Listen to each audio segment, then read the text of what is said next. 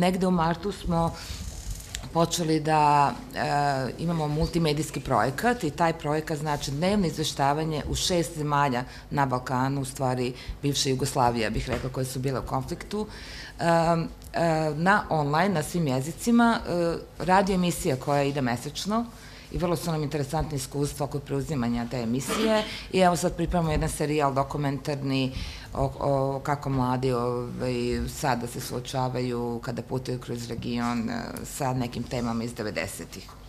U tom smislu bi e, meni, ja sam sama 90-ih u stvari izveštavala iz rata i istina je da, je da su nekada vrlo ozbiljne istraživačke teme o tome šta se događalo u Bosni, ulazile u NIN, ulazile u vreme, u, mislim, u sve te nezavisne medije, u borbu, našu borbu i tako da. Istina je da sada postoji jedno um, marginalizacija tih tema, pre svega uh, izveštavanje njima na tabloidan, vrlo tabloidan, trivialan način. E sada, ja sam od onih, samo sam novinar, teško optužujem novinare kao takve i medije, jeste to floskula što sada kažem, ali mediji jesu samo slika u stvari onoga što nam diktira Uh, celo društvo i politička elita.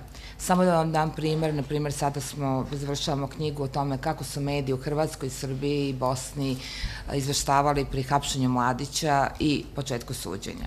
A mi ta, ta linija između političkih elita i ono šta se našlo u medijima, tačno je slika tog stanja. U Bosni imate dva, praktično dve države u državi, Republiku Srpsku i federaciju gde žive bošnjaci i tu su s jedne strane se slavilo, upotrebljavala se i koristile žrtve u političke svrhe. U Republici Srpskoj se protestovalo i pravili, e, ljudi su se pravili da ćemo tek videti šta će da se desi. Znači, toliko godina je prošlo, ta zemlja je duboko, duboko uznemirena, mediji samo to oslikavaju. U Hrvatskoj isključivo su se bavili e, temom zašto nije proširena optužnica Ratka Mladića na, Hrvatsk, na zločine u Hrvatskoj. Sve ostalo potpuno ne, neinteresantno. Niko se nije bio bavio praktično za šta je mladi zaista optužena. Srbija E to je najinteresantnije. Znači, im bili smo preplavljeni apsolutno najtrivialnijim mogućim uh, informacijama. Šta, smo, šta je doručko, šta je jeo, da li je, šta je tog trenutka ta uh, pizza koju je pravio je bila predebela kad, se, kad je ukapšen, uh, hoće jagode, hoće tolstoja, ne čitao. Znači, apsolutno smo imali jednu reportažu koliko smo mi izbrojali, koja je interesantno Blitz kao tabloid objavio iz Srebrenice, i, ali i još nekoliko analitičara, koja je naš problem što u stvari nedržavne institucije istupaju u javnost da objasne šta se dogodilo, nego nevladine organizacije koje uvek ostaju po rubu praktično medijskog e, izveštavanja. Zašto je to tako? Ja mislim pre svega patriotsko prećutkivanje, stvari e, i osjećaj krivice nacionalne, pa je onda mnogo lakše da se sakrivamo iza nekih e, trivialnih stvari, nego da zaista uđemo u problematiku onoga što se dogodilo drugim nacijama a, kojima smo doveli neke, doneli vojsku, paramilitarne jedinice, ali da vam kažem za utehu, ako je to tužna uteha, teško se suočava bilo ko sa zločinima počinjenim u sobstvenim redovima. Znači, za to je potrebno zaista jedna velika snaga društva, pre svega institucija. Nije samo da to postoji neka zavera da neko ne želi nešto da piše. Ja bih više sad govorila s aspekta našeg izveštavanja o tim temama, kako je novinarima i kako je medijima kad ih hoće da izveštavaju, jer ja mislim da to donekle nije pokriveno. Ovo ostalo je prilično poznato i često govorimo o tome šta su uzroci takvog izveštavanja. Prvo mi imamo medije koji su u jako teškoj ekonomskoj poziciji, tako da smo nekad imali dopisnike koji su odlazili, bili sudski izveštači, sad više mediji to ne mogu sebi da priušte, oni imaju ljude, robove praktično, koji trče na pet e, događaja u toku dana i izveštavaju sve pomalo i sve površno.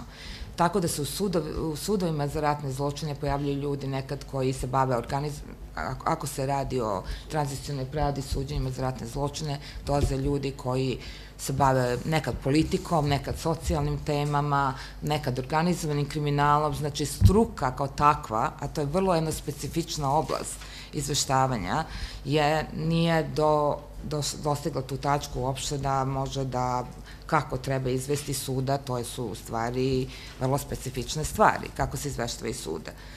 Znači, jedne strane ekonomska e, strana medija koja više ne dozvoljava da imaš specializovanu niš reportera, kako se to kaže, koji se bavi sudskim izveštavanjem, a drugo u stvari je nedostatak znanja. To je, to je prilično taj problem. Međutim, i kad dođeš, kao što mi imamo za šest dopisnika, svakodnevno odlazi u sudove i to pokriva, onda dolazimo do tačke institucija. Kako ti dolaziš do informacije u stvari na temu prošlosti i ratnih zločina.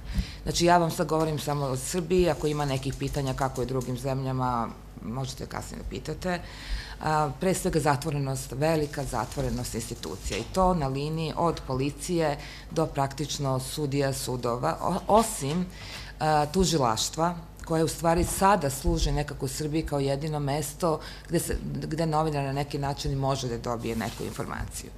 Znači, recimo, optužnice su treba da budu javne, jel? Ako se ode na sajt policije, vi ćete vidjeti da postoji link i, na, i taj link je mrtav i nikad u njemu, iza toga ne postoji lista optužnica. Ako tražite optužnice, kao što su mi tražili za Fatmira Limaja, za niz onih hapšenja, ako se sećate prošlo u oči izbora Albanaca, da bi se pokupili populistički glasovi, mi tad nismo uspeli da dobijemo normalnim putem optužnicu koja treba da bude u javnom domenu. Znači, zatvoreni. Ako se ide na a, sudije, oni vrlo, vrlo redko žele da komentarišu bilo šta, tvrdeći da ne žele da kompromituju um, procese. Ako se, dozvoljeno je, nominalno je dozvoljeno da se snimaju recimo suđenja za ratne zločine, ali za to je potrebno da se saslože svi članovi sudskog veća i to u suštini vrlo, vrlo redko se dešava. Najzad ova služba za javne odnose, ona ne pokriva samo specijalni sud, nego pokriva viši sud generalno, tako da nikad pravovremeno ne možete da dobijete informaciju. I to ja mislim samo kroz, kroz to, taj aspekt novinara koji se samo time bavi. Ja samo mogu da zamislim kako je teško onda ostalim medijima koji praktično nemaju ni tu ekonomsku moć da, da odvoje određenu osobu samo time se bavi talenta. Koliko je, da, ja se ne čudim što onda se sve kod nas završava sa nekom procurelom informacijom, sa tajnom informacijom, neko je nekome dao, neko je blizak sa vrhovima vlasti, znači naše novinarstvo se neguje kroz tu, kroz tu vrstu kontakata novinara sa političkim i biznis centrima takođe, znači nije samo ova oblast u pitanju. Ali delimično su za to krive institucije koje su stvari do temene zatvorene, da nemate nikakav drugi prostor nego da jurite okolo, vučete za rukav i praktično onda postižete ekskluzivu. Ekskluziva je uvek tabloidna, jel? A, još jedan element koji sam htela da vam, koji sam mislila da je važno se kaže. Srbija ima problem tog suočavanja s prošlošću i to ne samo, ni sa ovom vlašću, to je jedan kontinuitet od 90-ih. Ja tu ne bih ni jedan period od 2000-te izdvojila kao, drugačiji, jer se dobro sećam i tih prvi godina posle ovaj, takozvane smene vlasti i preuzimanja svih tih kadrova i biznisa iz zone vlasti u novu i sledeću.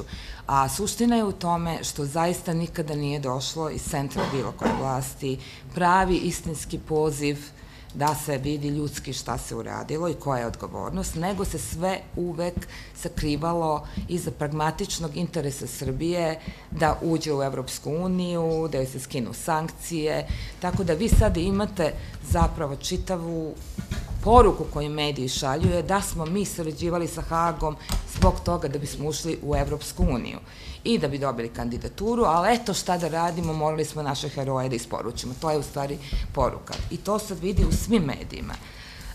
Ja mislim da je to jedno moralno problematično stanovište, što je koje u stvari dovelo do ovog stanja gde, gde nam je tako kako nam je i mi to od toga pobeći ne možemo, a ne vidim iskreno na koji način se možemo zaista sa time izboriti. Ne znam šta da kažem za ovu novu vlast, mislim, E, iskrenost po pitanju suočavanja s prošlošću nisam primetila ni sa prošlom, po meni je sad samo to jako očigledno sa ovim novim ljudima koji su došli, sa prethodnima je bilo više Manje očigledno, ali isto tako vrlo nerado uh, bi bilo ko otvorio bilo koje pitanje vezano za, to je, to je moj stav, ali to sad ne, može, ne mora niko da uvaži.